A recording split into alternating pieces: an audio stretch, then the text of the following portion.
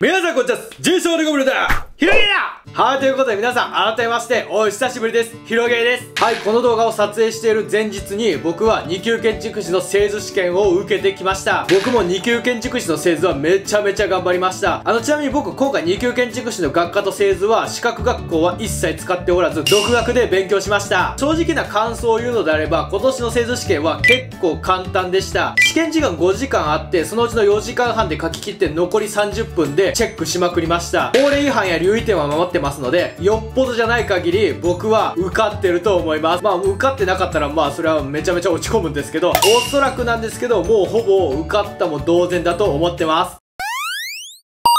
ということで2級建築士の製図試験が終わりましたので、今月から復活したいと思いますとはいうものの、まあ、完全に復帰というわけじゃなくて、当面は週に1、2本は動画を出そうと思います。そして仕事に慣れたら3、4本は出そうと考えております。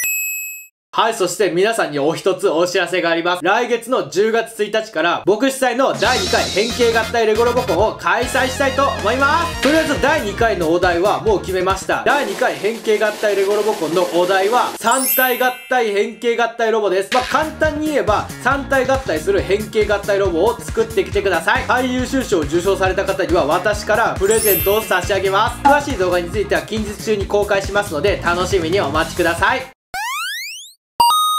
はい、改めまして最後になりますが、いつも私、広げを応援してくださってありがとうございます。とりあえず3年にわたる建築士の戦いは、まあ、これで終わったんですけど、今後は僕は一級建築士やインテリアコーディネーターなどといった、取るのが難しい資格にも挑戦したいと思います。まあ、多分その時になったらまた活動を休止するかもしれませんけど、まあ、それはその時次第なので、気長にお待ちください。はい、以上、広げでした。ありがとうございました。